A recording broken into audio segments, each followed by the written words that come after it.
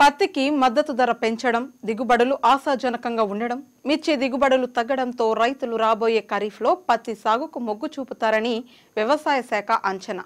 ఈ మేరకు పత్తి విత్తనాలు అవసరమైనన్ని అందుబాటులో ఉంచడానికి ప్రణాళిక సిద్ధం చేసింది. జిల్లాలో పత్తి సాగు సాధారణ విస్తీర్ణం ఒకటి పాయింట్ ఎనిమిది సున్నా లక్షల హెక్టార్లు. ఈసారి సాగు విస్తీర్ణం పెరుగుతుందని వ్యవసాయ నిపుణులు అంచనా వేస్తున్నారు. ఈ మేరకు పదమూడు లక్షల పత్తి విత్తన సంచులు అందుబాటులో ఉంచేలా ప్రణాళిక సిద్ధం చేస్తున్నారు.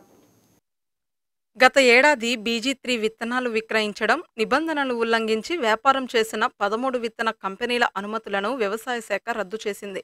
పత్తి విత్తనాలు విక్రయించే ప్రముఖ కంపెనీల అనుమతులు రద్దు కావడంతో ప్రత్యామ్నాయంగా రైతులకు అవసరమైనన్ని విత్తనాలు అందుబాటులో ఉంచేలా చర్యలు తీసుకున్నారు. ఈ క్రమంలో నాణ్యత లేని విత్తనాలు అనుమతి లేని కంపెనీల విత్తనాలు మార్కెట్లోకి రాకుండా ఇప్పటి నుంచి పకడ్బందీ చర్యలు ప్రారంభించారు. ఇందులో భాగంగా జిల్లాలో పత్తి విత్తన ప్రాసెసింగ్ యూనిట్లను వ్యవసాయ శాఖ తనిఖీ చేసి నిబంధనల మేరకు జరుగుతున్నాయా లేదా అని పరిశీలిస్తున్నారు. బీజీ త్రీ విత్తనాలు మార్కెట్లోకి రాకుండా అడ్డుకోవడంతో పాటు నిబంధనలు పాటించేలా చర్యలు చేపట్టారు. రాష్ట్రంలో అనుమతులు రద్దు చేసిన విత్తన కంపెనీలకు తెలంగాణ రాష్ట్రంలో అనుమతులు ఉన్నాయి. ఈ నేపథ్యంలో అక్కడ విత్తనాలు తయారు చేసి తెలంగాణ సరిహద్దు కలిగిన జిల్లాలోని ప్రాంతాలకు తరలిస్తారని నిఘా పెంచాలని సంబంధిత వ్యవసాయాధికారులను ఆదేశించారు.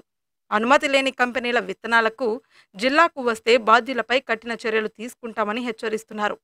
పల్నాడు ప్రాంతంలో విత్తన వ్యాపారంతో సంబంధమున్న డీలర్లు వ్యాపారులు పంపిణీదారులతో వారం రోజుల్లో సమావేశం ఏర్పాటు చేసి అనుమతి లేని విత్తనాలు రాకుండా అడ్డుకట్ట వేయాలని స్పష్టం చేయనున్నారు.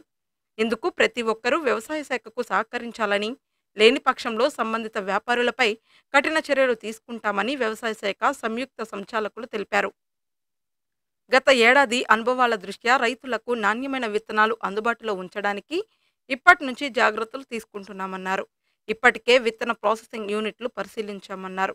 ఈ మేరకు జిల్లా వ్యాప్తంగా డీలర్లు పంపిణీదారులతో సమావేశాలు నిర్వహించి అప్రమత్తం చేస్తామన్నారు.